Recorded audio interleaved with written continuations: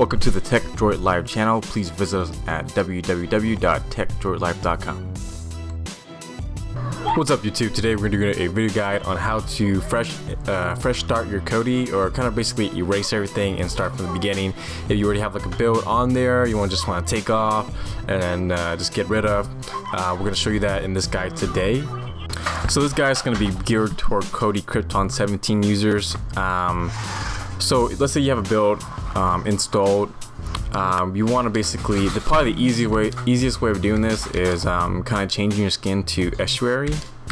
So you want to look for like a main menu or like a program um, category, and then you want to look for um, something with system, and then interface your skin. So mine's gonna be interface, and then as you see skin here, skin here again you want to click there and then uh, you want to click estuary. Now that's the default skin of Kodi Krypton 17.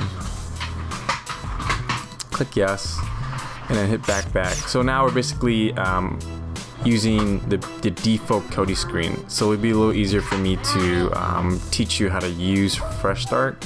Um, so if you have a build already installed, um, you're basically gonna have a bunch of repositories installed already. So what you want to do is uh, click on your settings button, file manager, and then you want to look in here and look for something called fusion. Now you already have that, you can skip this step. Um, but if you don't have that, you just want to go to add source, and then you want to create that link by typing, oh yeah, I'm sorry, by uh, clicking on none here, and then type in HTTP fusion .tv add-ons .ag click OK and name this fusion. And click OK and click OK. So that's how we would add the fusion link onto your um, your sources here. And then you want to hit back and then you click on add-ons. And then you want to click on the package installer and then you want to install from zip file.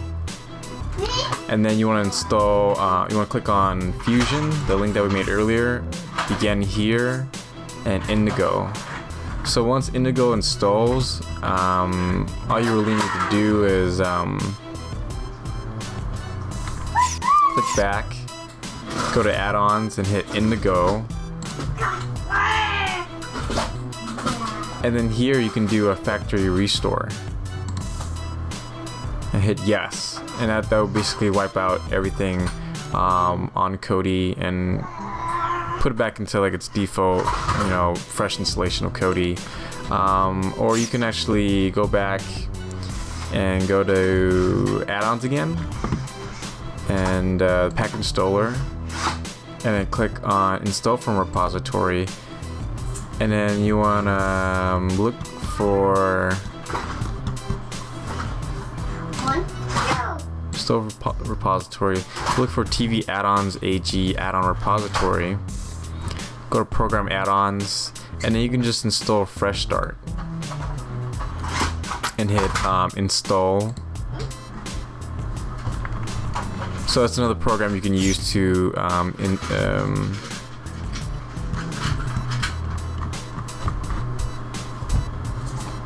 to fresh start your Kodi. Fresh start and hit do you wish to, to restore your Kodi configuration to default settings? Hit yes. And that will basically wipe out um, Kodi as well.